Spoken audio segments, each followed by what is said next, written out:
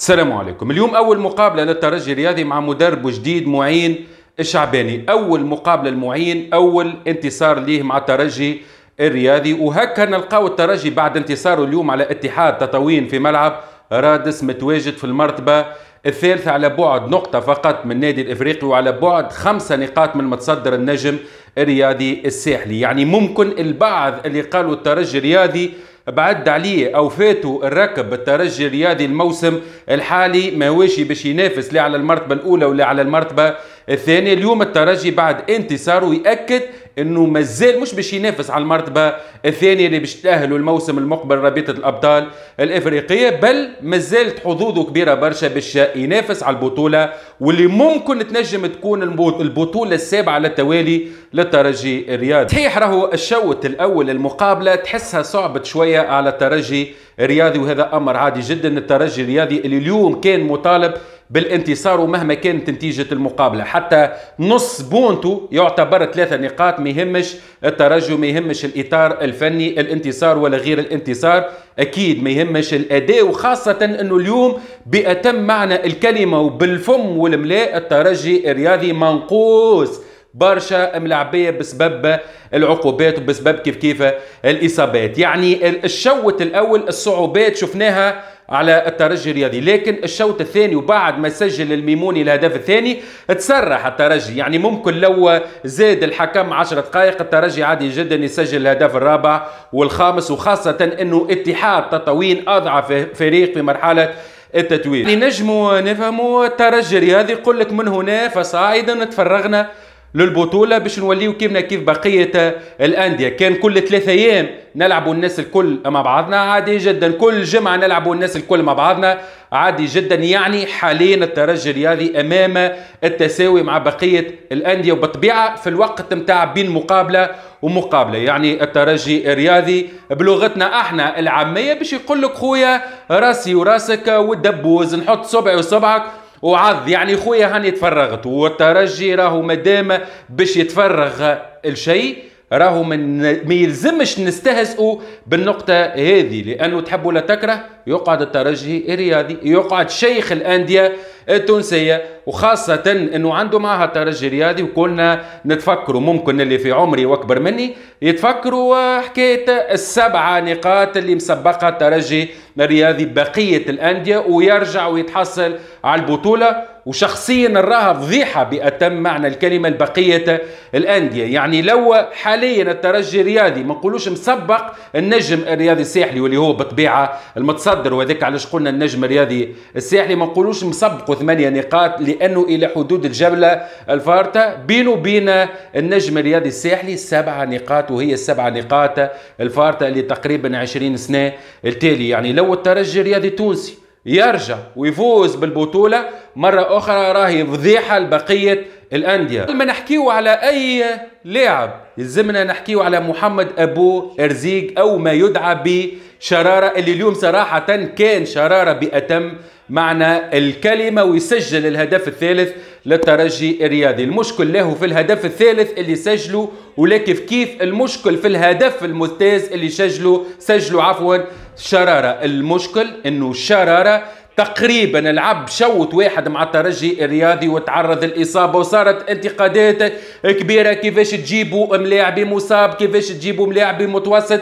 كيفاش تجيبوا ملاعبي ما قدمش إضافة للترجي الرياضي؟ اليوم صراحة شرارة وبالرغم إنه تحسوا الملاعبي زايد في الميزان ملاعبي عنده مدة طويلة بعيد على الملاعب. إما صراحة نعاود نقولها الإمكانيات الفنية للاعب موجودة. الإمكانيات الفنية للاعب راهي عمرها ما تموت واليوم صراحة يأكد مرة أخرى شرارة الكلام هذا شرارة ممكن النجمو نقولوا لو يرجع للمقابلات ولو ياخو أكثر وقت بعد عودته من الإصابة ممكن يكون حل كبير بالنسبة لمدرب الترجي نبيل معلول؟ أو عفوا معين الشعباني اليوم وقت اللي انتصر نقولوا برافو نبيل أو برافو المعين الشعباني. ولو كانت النتيجة غير الانتصار تعادل أو هزيمة أمام اتحاد تطاوين النجم نقولوا معين الشعباني ما عنده حتى دخل في الموضوع. كيفاش دخلنا معين الشعباني في الانتصار وخرجناه من الهزيمه هو باش نقول لك علاش. معين الشعباني عنده 24 ساعة ملي متواجد على رأس الإطار الفني للترجي الرياضي ما عنده ما يعمل لا درب فريق ولا ممكن يعرف شوية الملاعبيه إما ما عنده ما يعمل حتى لو يعرفهم. لذا النقطة الوحيدة اللي نجم يخدم عليها معين الشعباني إنه يحفز الملاعبية إنه تكون ثم ردة فعل أمام اتحاد تطاوين. هذه النقطة الوحيدة اللي نجم يخدم عليها معين الشعباني ونتصور اليوم بعد الانتصار على اتحاد تطاوين وما شفناش كيف كيف ثم ثم أخطاء كبيرة من جانب الترجي الرياضي. يعني نجم نقولوا إنه معين الشعباني خدم على النقطة ونجح فيها وهي بطبيعة النقطة الوحيدة اللي في يد معين الشعباني باش يخدم عليها هو إنه يرجع الروح للملاعبية. نتصور اليوم بعد الانتصار على اتحاد تطاوين الروحة رجعت للترجي الرياضي صراحة البارح حكينا على صفحتنا على الفيسبوك على معين الشعباني وقلنا مقارنة بنبيل معلول وراضي جعايدي أكثر مدرب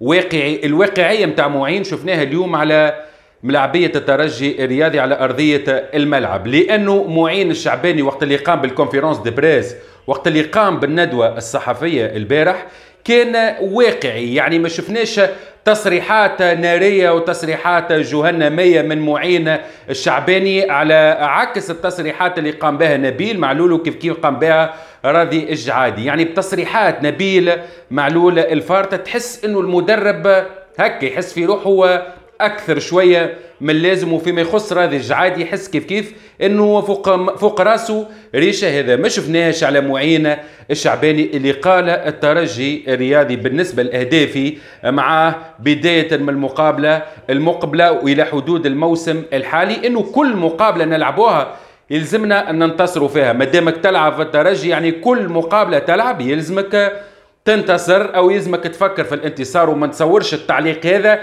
يعني نقولوا عليه نوعا ما معين يشوف يروح وما نعرفش هذيك هو اللي يلزم. ما دامك تلعب في الترجي رياضي. ما نتصورش اليوم فريق يجي الرادس ويلعب أمام الترجي والترجي يكون عنده فكر آخر أو يكون عنده هدف آخر غير الانتصار. يعني الترجي الرياضي في ملعب الرادس يفكر في الانتصار هو وقت اللي يلعب خارج ميدانه ومهما كان الفريق اللي باش يلعب ضده الترجي الرياضي ما عندوش فكرة تعادل في طعم الانتصار والحمد لله تعادلنا. لا فكرة الترجي الرياضي هو الانتصار حتى لو اللعبة خارج ميدانه. هذاك علاش؟ شفنا الترجي الرياضي ستة مواسم على التوالي فاز باللقب لأنه العقلية نتاع الملاعبية عقلية انتصارية. خارج الميدان ولا كيف كيف على أرضية ميدانه. انتصار اليوم الترجي الرياضي بعد ما انتصر 3-0 على اتحاد تطاوين النجموا نقولوا باش نشوفوا الوجه الحقيقي للترجي وخاصة بعد عودة الملاعبية المصابين وعودة كيف كيف الملاعبية المعاقبين باش نشوفوا الوجه الحقيقي للترجي الرياضي في مرحلة التتويج. سخن يا خويا هالبلاي اوف ما بين الترجي الرياضي التونسي النادي الإفريقي وكيف كيف النجم الرياضي الساحلي. يعني ثلاثة أندية هذوما. كيف أي فريق راهو ترجي رياضي ولا النجم الساحلي ولا كيف كيف النادي الإفريقي. عادي جدا زوز ثلاثة جولات أخرى تلقى واحد فيهم.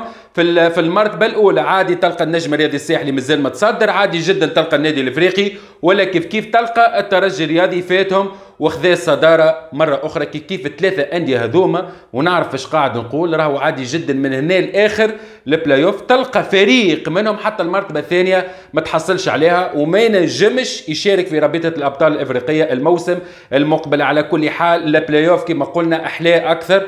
تحيا تونس تعيش تونس كلنا تونس وسلام.